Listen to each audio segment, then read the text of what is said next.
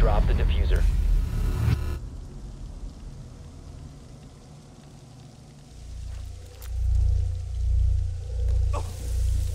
The diffuser has been recovered.